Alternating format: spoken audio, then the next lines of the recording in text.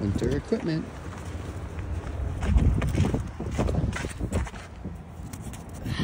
Okay, still got cutting edges.